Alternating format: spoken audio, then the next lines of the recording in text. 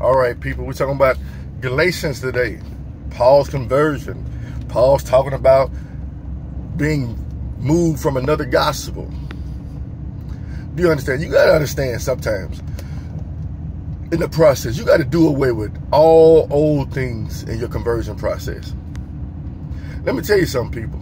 You can get saved at a church and then realize there are problems in that church. Because you're going to start seeing things that you didn't see beforehand. You're going to start seeing traditions that contradict God and his words. You're going to see things going on in your life that you embraced, but now you don't want to be a part of. Think about it. Paul did away with his old traditions, which talked about like was a master in the Jewish religion. But when he came to the knowledge of Christ, he went from persecuting Christians to being persecuted or embraced by those who knew him beforehand. You know, they was like, whoa, when is the same person that was bad mouthing Christians, that was persecuting them, that stoned Stephen, consented to the death of him? He said, uh, he was talking about the Corinthians. He said, I, I knew a man, whether in body or spirit, I could I know not, that was caught up in the third heaven. Was he talking, referring to um, Stephen? I don't know. Who knows? He said, rather in the spirit or rather in body, I know not. One thing about being a Christian, man, your whole life changes. You know, you're going to be seeing spiritual things and fleshly things at the same time, trying to use the discernment between the two. Do you understand? But one thing, one key element, he said, don't let nobody move you to another gospel. But if you read in the Bible, they're talking about they preaching another gospel. That's not a gospel. They switch the words to the gospel. Why do you think the Bible talks about one accord so much? One accord. Why are there so many different interpretations of the Bible? You, you know how many groups use the Holy Bible and yet at the same time preach another gospel. The Hebrew Israelites use the Bible. Or they may use the Torah, who knows? You know, the Mormons use the Holy Bible. The Catholics use the Holy Bible and some other doctrine too. Come on. Why are there so many different gospels? So many different interpretations of the same Bible? You see, I used to try to figure out what denomination I was. Then I realized I'm, I'm in no denomination. I'm just a follower of Christ. Uh, I'm a Christian. That's it. I'm not a Pentecostal. I'm none of that. Keep it basic. You know what I'm saying? It's about traditions and things of such. But you're changing now. Some of the things that, when they talk about going through things in Christ, right? They say they shake some things up. You know, some of the things may be true that you learn, but some of the things gonna go away. I'm for real. You see, a lot of churches don't understand. Uh, they'll have people that come to church and give their life to Christ. And then, after coming to church and giving their life to Christ for a while, they branch away from the church. And the people are like, why you stop going to church? Why you stop going to church? Uh, actually, I never stopped going to church. he said Christ came to him and taught him. Christ can come into your life and teach you and give you understanding. You have not because you asked not. Because you asked amiss. I, I was reading from Mark this morning. When he's talking about he will give you whatever you desire if you pray and you believe and not doubt. I'll give you what you ask for. And then he led on to forgiveness right after that. So you can, you can't have hatred and all this in your heart and expecting God to bless you. you understand? The Bible is so self-explanatory. But it's like people are take that have not and add you, give you whatever you desire and just leave it there. But you got to read further. It's all about God's will too, what he desires for you. So God is trying to make your heart and your desires line up with what he wants for you. Do you understand? Like I still desire to make music, but it's not the same music I used to desire to make. Do you understand? God's gonna line you up with his will for your life. A lot of ways that you are are not going to change completely. He's not trying to recreate you into a whole nother creature. You still going to look the same. Your voice probably ain't going to change much. You're born again, but you're still a grown man or a grown woman. He's going to change certain characteristics about you spiritually. You understand? He's going to cook you up. He's going to make you the right person for the job, right man or woman for the job that he has for you to do. But it still has to line up with the will of God. Y'all ain't understanding me. You see, a lot of people thinking they give their life to God. Let me go back to wanting to make booty shaking music. Done, been there, done that. When I gave my life to God, I went back to music, right? And I started making back world and music again. Hypersexualized, this and that. And I, I just put it this way, I end up losing that computer. By one way or another. When God wants you to push his agenda, he wants you to push his agenda. Not yours you know, I did just like most artists do today. I'm just going to talk about God, but I'm going to talk about sex and perversion too, and call myself a Christian. Do you understand? You got to stay true to the gospel. Your character has to line up with the character of the Bible. I'm not saying you're going to be there to a T, but it's going to take you some time. You see, Paul even admitted further on, he like, not as, as though I have obtained perfection, but I reach towards perfection. You understand? You're not just going to wake up in the morning and be like, I got it right today. Like I said, let's go back to what I was saying uh, further. Don't think that you're just going to wait to your deathbed and be like, okay, I'm going to give my life to God now. I've been living a unholy life my whole life, but it's about time for me to die. And the thing is, God is so cunning and so smart that you can't just get a free pass like that with him. Now, the thing is, there are people that are, that walk in ways of the Bible and don't know Jesus. Now, you can walk in the ways of the Bible and the standards of the Bible and not know Jesus and then know Jesus right away and then understood why you was doing it and then die. But you already been walking the life pleasing to him. So it's different for everyone, people. But the Bible says work out your own salvation with fear and trembling. You know what you need to be doing. You don't really need nobody to tell you nothing. People know what they're doing is wrong.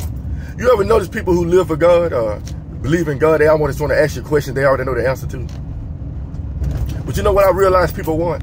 Your opinion. hey, uh, you think God's gonna let homosexuals in heaven? You asked me that question because you already know the answer. The answer according to the Bible is no. You want, what do you think? It's not what I think. It's what the Bible says. Do you think I can be a liar and make it to heaven? Uh, uh, you already know the answer to that. You know, most people know the answer. why they don't want to give you the answer? I mean, why they want they want confirmation? But all they want to do, you see, these the tests you're gonna have in life to see if you're gonna preach the truth are you're to preach what you want to preach? Well, you know, are you to bow down? Are you to stand your ground when certain questions come your way? I don't believe in different interpretations. I didn't have to debate upon debate with people. Well, you may read it this way, but I read it that way. I thought we were supposed to be on one accord. One of us going to be right, and one of us will be wrong. Let's say you read one line uh, in the Bible. And four people are there. And four people getting a different understanding of it. We got to come to a one, one understanding. Or we're going to be spreading different gospels. Now look at the world we live in today. Presbyterian, Baptist, holiness, Catholic, and people look at the world. And the thing is, it's not just with Christians. The Muslims are the same way. Guess what? The Buddhists are the same way. They got different sects. We do it this way. We do it that way. Well, think about it, people. I've been to, to Iraq. They got the Shiites. They got the Sunnis. They got this. They got that. What the world? You understand? They try to make it look like they got it all together. Uh, the Christian faith ain't got it all together. No, it's divided. It's divided all the way. So many different ways. You know, I'm telling you people. But the thing is, poor teaching and poor preaching is what leads people astray. You got to stick to the truth. We got to stop comforting people with lies. We got to stop incorporating other ways into the belief system of Christ. We got to ask God. You see, the Bible tells us so much, people, to seek heavenly things first. What distorts our reality, we are not trying to seek God. We're not trying to seek his understanding. We're not trying to seek his will. We're still trying to incorporate our will. I told you, people, you better get to a point in your life as a Christian that you don't trust yourself. But you trust in the Lord. You don't need to trust yourself. Place not your trust in man. I'm going to say that to people. Read between the lines. What are you? What are you? Hmm. So you're trying to line your heart up with God's will. Why did God choose David? He was a man after God's own heart, but yet with flaws. So that's why when he messed up, God punished him to get him back in line. So if you're one man or woman after God's own heart, expect to be punished to get back in line. Expect to be chastised. Why would God want his sheep to go astray? So sometimes you got to crack that whip a little bit. If you call yourself a child of God, get ready for that part too. Or you just want the blessings, huh? Mm. Paul's talking about having a thorn in the flesh with his infirmities. Why would Paul, an apostle of the Lord, have infirmities? Because he does. He's man. Me and Paul used to beef, buddy. I was like, look at this bigot. Look at this boastful man. And I was like, then I started looking in the mirror. Look at this bigot. look at this boastful man. So I see him myself. Boasting in the Lord. Bragging on the Lord. Talking about my trials and tribulations. You understand? It's not to be boastful. It's all for the glory of God. I had to realize why Paul was doing what he was doing. Then I had to realize Paul was growing in Christ. The more you start reading, Paul's words start getting clearer and clearer. That's why he said those who are unlearned twist and manipulates Paul's words. So for about a year straight, I was just trying to pray, Lord, help me understand what Paul is saying. I was thinking Paul was just a fake. You understand? Then I kept praying and praying and praying. And then you know what? The preacher at, at the church I was going to said, like, you know, just remember Paul just a man. I was like, I didn't even realize what he was saying to me at first. He's a man just like me. He's flawed, just like me. And you got to really dissect his words to understand it properly. And it tells you that people have distorted Paul's words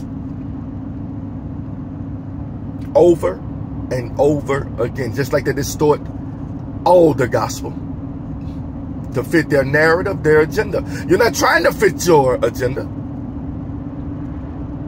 You're trying to fit Christ's agenda. You're trying to be a man or a woman after God's own heart. Mm. You understand? I didn't heard somebody tell me about the, the moving of the mountain, but like, you might can't move that mountain, but you can chip away at it and move it. That's not what the Bible said.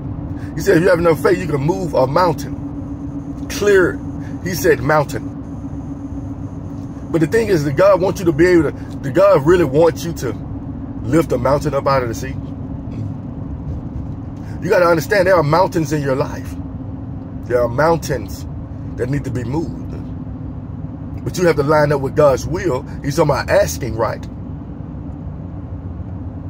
You ask anything in my name, there are certain mountains God wants moved in your life. Holy crap. Holy crap. But you got to study. And you got to realize once you become a new creature, once you get rose from the dead, let's put this way, Christians have one awakening, one, we got a rebirth, right? When we when we born again, when we give our life to Christ, we got a rebirth. That's when we wake up from the dead. And then we had a, another resurrection to attend.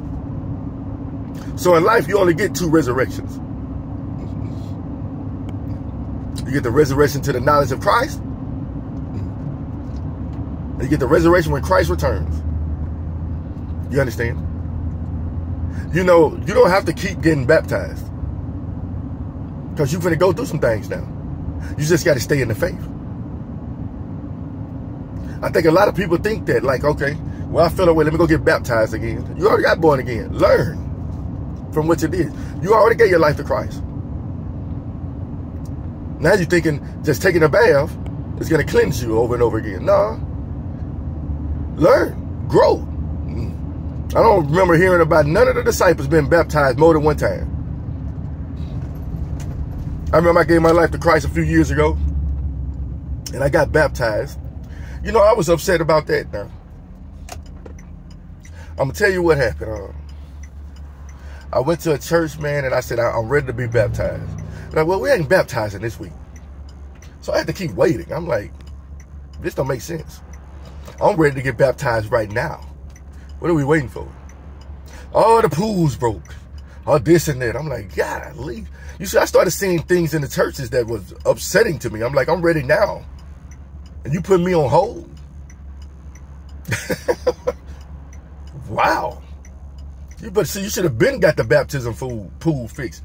I mean, you must have been doing no baptisms in here. I'm just, I'm just trying to figure out, man. We could have went to the beach later on. You could have filled the bathtub up and, and baptized me. There's a lot of things I started seeing that didn't make sense to me. You know, that's that's one reason why I think preachers need to be dressing all flashy and stuff. I can't get my suit wet. can't baptize today. I think every day, every Sunday, they go to that church, that pool need to be ready. it need to be ready, to be people. Somebody might be ready to be baptized and born again right then. Oh, next week we'll do it. What the Lord said, if you have it at your disposal. You mean to tell me you have no water at your disposal at your church? he said, and tell them to come again without giving them things that needful for the body. Tomorrow. In three months, three weeks, come back. What if they ain't have time? What if the, you're, you're pushing them away by saying, wait. Let's say you're at work, right? And somebody talking about giving their life over to God. And you're a Christian. Would you gonna be like, hey, come to my church Sunday. You can give your life over to God Sunday. Hey, you better do your best. You better just try to give them, give them right, right then, people. Don't be shy. The Spirit will let you know what to do. Because I'm like, I never baptized anyone before. You know what I'm saying? I never did. You know. Have the opportunity hasn't presented itself to me yet. You understand? You know. But if somebody comes to me want to give this life to, to, the Lord, I'm gonna have to go ahead and bite the bullet, be uh, to be what I'm gonna be. I'm gonna do my best. I ain't got no rhetoric by this. You know what I'm saying? You remember the dudes on the road to the road, he was like, I need to, I need to, I got a job for you to do, right? And uh, God sent this guy, sent one of the disciples over here. And he was a man was in a carriage, trying to get to know about God. And uh, he was reading the Bible. He said, Hey, can I know if I don't understand understand what I'm reading? So the dude started teaching him. And then uh, right in the process, the guy was like, hey, I want to be baptized. And the, the guy was like, pull right here, they're late. Let's get baptized. I'm just saying, I, I know I'm still on rambling here, but y'all got to get to what being a follower of Christ is really about. You want people to see your light and they want to hear about God to you. Or they're going to start confiding in you about certain things that their like. They're to come to you. You're like, you're to feel like you never, you always got something to do. It's no slack of work when it comes to the to word of God. Let me pause and I will continue.